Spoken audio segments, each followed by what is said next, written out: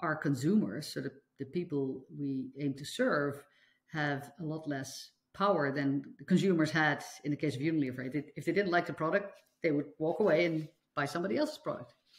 Um, and unfortunately, uh, the communities that we serve uh, often do not have that choice. Uh, I, in a way, I wish they had because I think it would be it would be good. It would be good for organizations like ours to have that uh, external validation or feedback mechanism uh, in, in our services. We now create feedback me- mechanisms, of course we do, but it is there is a power and difference there between our our consumers and the consumers that exist in the private sector